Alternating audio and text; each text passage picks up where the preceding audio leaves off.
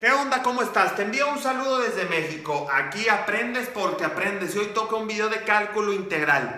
Vamos a resolver un ejercicio por el método de integración. Este es el ejemplo integral 4x menos 5 sobre un trinomio. Entonces, primer paso, a los trinomios de abajo, a lo de abajo se le debe de factorizar. Factorizar es tener paréntesis. Obviamente no los tenemos, hay que hacerlo abrimos dos paréntesis y decimos raíz de x cuadrada es x, porque x por x, x cuadrada. La colocamos al inicio de cada paréntesis. Este signo que señalo es positivo, se baja. Y este signo negativo se multiplica por el primero. Menos por más, menos. Y lo colocamos acá.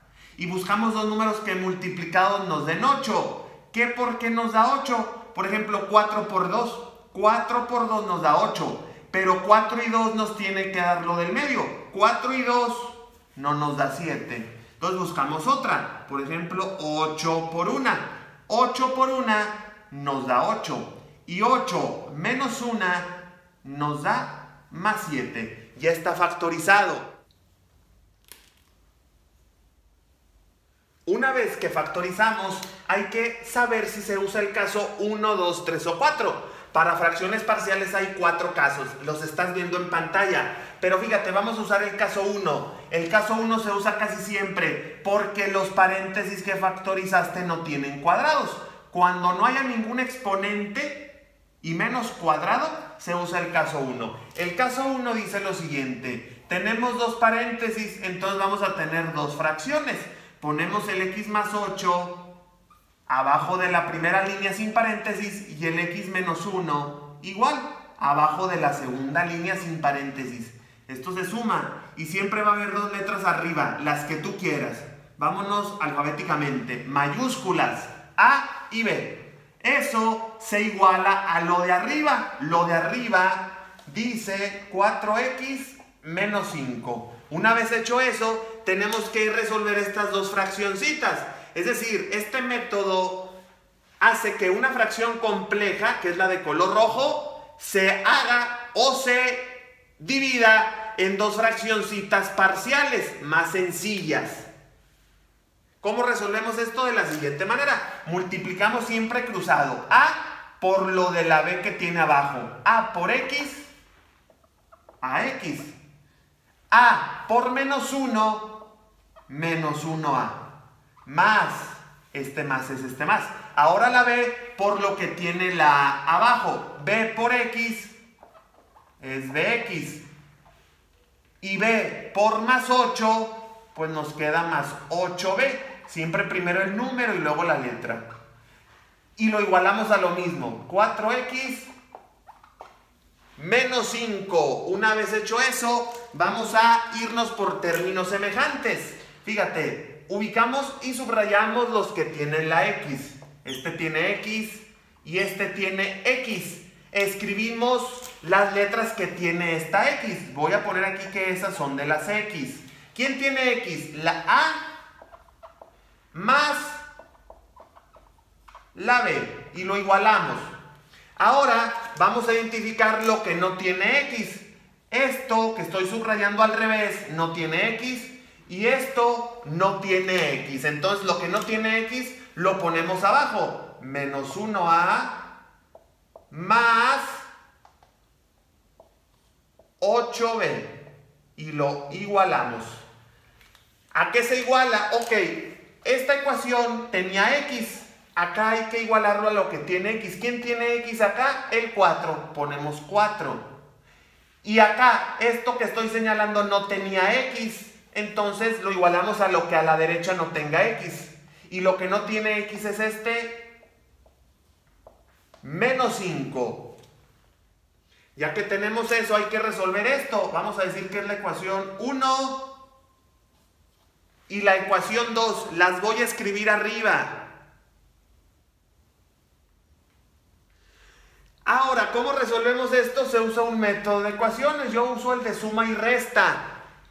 Aunque aquí ya vamos a tener todo muy facilito. Fíjate, ¿se eliminan las ecuaciones? Sí. A menos A, tú sabes que este 1 pues no se debe de escribir. A menos A, 0, se eliminó. Perfecto. Misión cumplida. Ahora, tenemos B. Esta B tiene un 1. 1B más 8B, 9B. Y 4 menos 5 nos da menos 1. Entonces la B vale menos 1. ¿Y qué está haciendo el 9? Multiplicando. Al otro lado pasa a dividir. Y ya tenemos la B. Ahora lo que yo hago es, por otro espacio, escribir la ecuación 1. Puede ser la 1 o la 2. La reescribo. A más 1B es igual a 4. Este 1 recuerda que se escribe o no, de preferencia no. Y voy a sustituir el valor de B. ¿Cómo me va a quedar? A más paréntesis la B.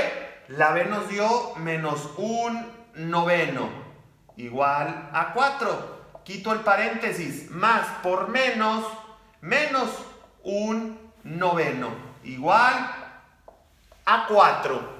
Y despejamos. ¿Qué está haciendo este un noveno? Este un noveno está restando. Al otro lado pasa a sumar. 4 más un noveno. Entonces, acuérdate, ¿cómo se suman fracciones? Pues este 4 tiene un 1 abajo. Y el método más fácil es multiplicar así cruzado.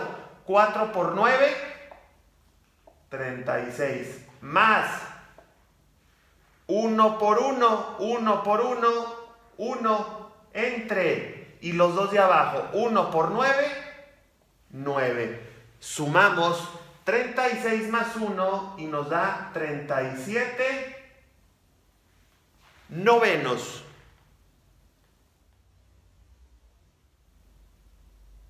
Ya que tenemos esos valores, ya podemos integrar nuestras fraccioncitas parciales. Estas dos fracciones que originalmente planteamos son integrales directas de memoria. Les ponemos el símbolo y vamos a sustituir los valores. Fíjate, la A, la A vale 37 novenos. El número siempre de la letra sácalo de la integral. Entonces 37 novenos. Queda la integral y arriba siempre pon de x sobre lo de abajo. x más 8. Más la integral. Y la b, la b nos dio menos un noveno.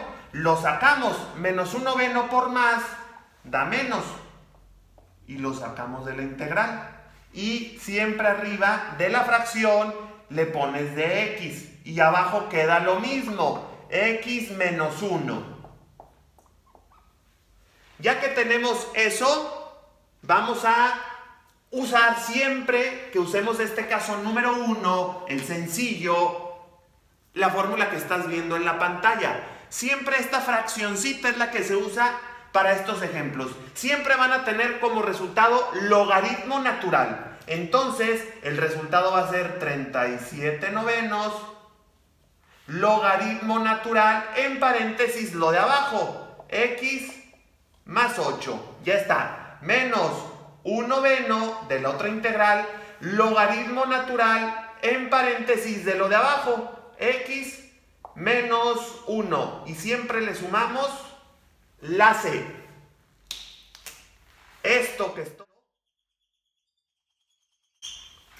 o encerrando en la nube de color rojo, es la respuesta, el resultado para esta integral por el método de las fracciones parciales. Si te gustó el video, te invito a que te suscribas a este canal de Manuel Asesorías, que lo compartas y que le des like. Aquí te dejo más videos míos de matemáticas, física, química, estadística, finanzas y cálculo, explicados de volada, súper fácil, para que tengas muchos ejemplos que practicar. Saludos desde México y suscríbete ya a mi canal.